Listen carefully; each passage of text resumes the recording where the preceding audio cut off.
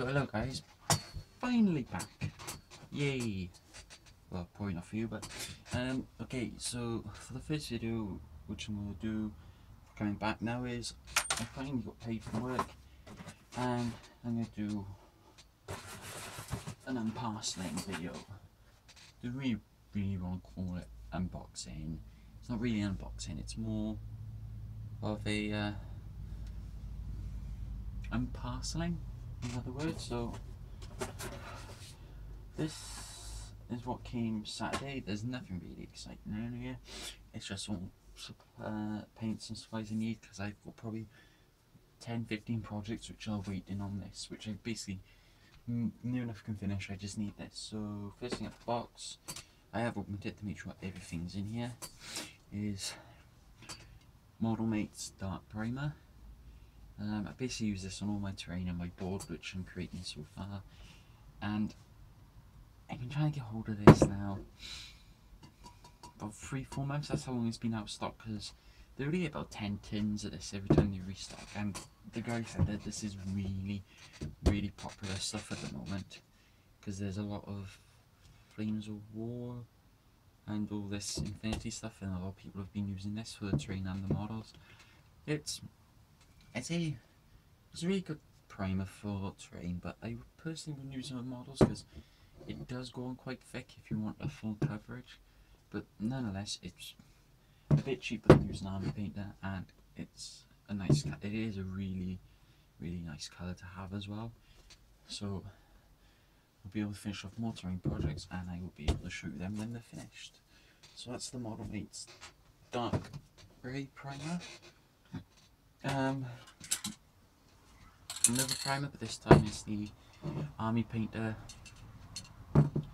Matte Black. I, I use this on pretty much every model, so mainly base coat black.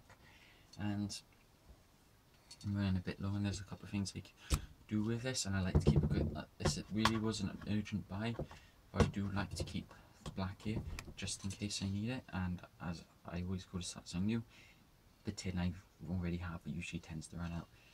Um, army paint primers, I'd say they're way better than the ones you can get from GW, to be honest, because I find with these that you you seem to get more out of the tin than the GW ones. I think they like, so I don't think the GW ones are 400ml, they hardly do anything compared to this. I mean, this is probably done about, one tin of this is probably done altogether 10 tanks and 40 infantry 400 mil, and that's a pure coverage and it goes on thinner so it doesn't clog with the detail. I've always started using Army Painter now because I find their primers are really good so if you ever want to change primers I highly suggest these as they are really good and for the price it's eight and a half pound GW's is ten pound and if you get from Firestorm Games it is 765 as you can see there. Probably can I don't have a screen camera on this on my new phone so I'm guessing. So seven pounds 65 or seven and a half quid. That's great for that tin um, next is the army paint uh, grey. I'm to be trying to use this colour now on some of the ruined buildings we got. A lot of people say that this is very much like the Space Wolf colour grey and I can see it. But it's worth a shot. Now the colours, if I'm correct, the colour primers, it does vary on price. Yeah, does. The colour primers are pound, are they a pound more? Pound more, what's this? This is a, yeah, that's it. It's, it's like a pound 30, 49 more in price for the colour primers as I think it's to do the pigment or anything.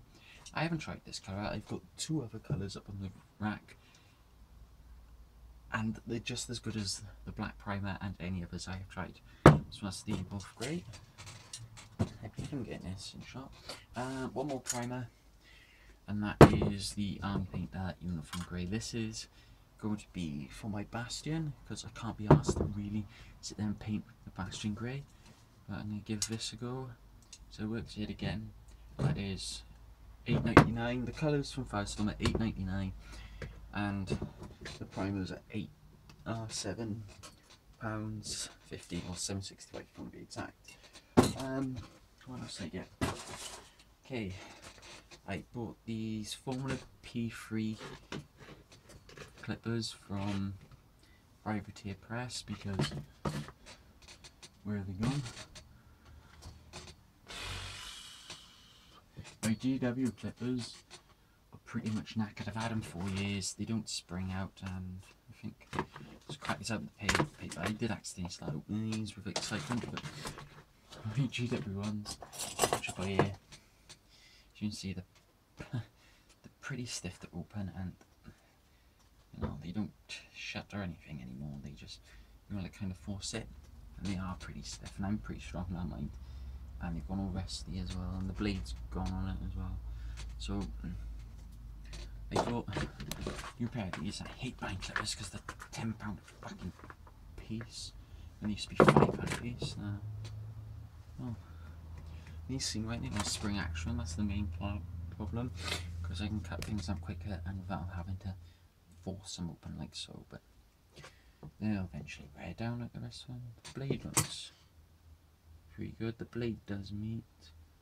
It's got a nice flat edge by here as well, so you cut them off clean. It's, got like a, oh yeah, it's a soft grip handle. Made out of like a thick rubber material, or plastic, or is it soft plastic? Uh, printing's alright. It's kind of, no, it's not just painted on. I thought that was in like an embossed painting. So that's the Privateer Press Formula P3 clippers. Put them in there so you can find them. Um, what else? Leave that one for last. Um, bought.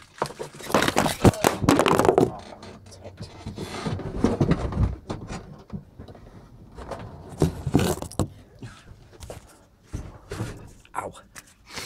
I was not supposed to do that, guys. Ah, bollocks. Right, let's check this is realigned. Yeah.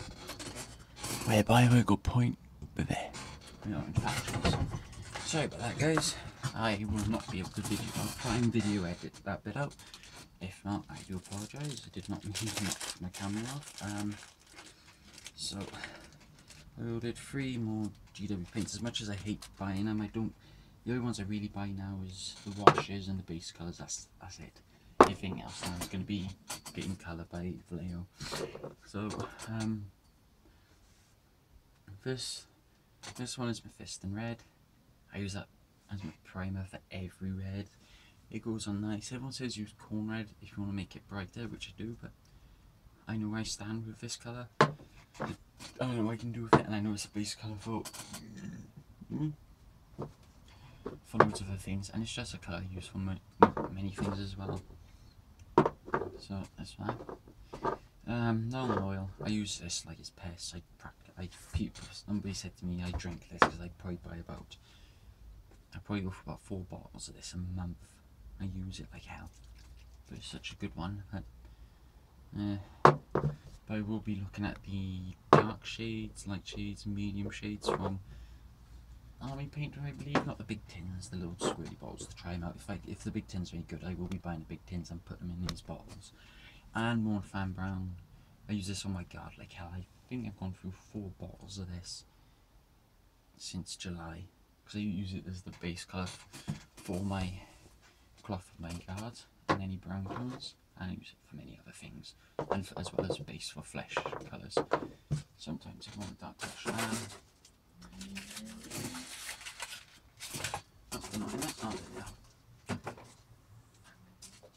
Um, um, um, brought two more brushes. I brought another uh, hobby base coating from Army Painter.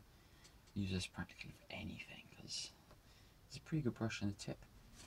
It's a long bristle brush with holds plain paint, but the tip is fine enough for basically doing 90% of models. Like stand 25 mil.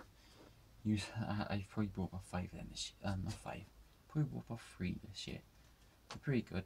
The guy, like the guy said they won't last you months no paintbrush will last you fucking forever. Um, then I bought the army painter wargamer monster brush So I wanted something a bit bigger than the which brush I use. Regiment.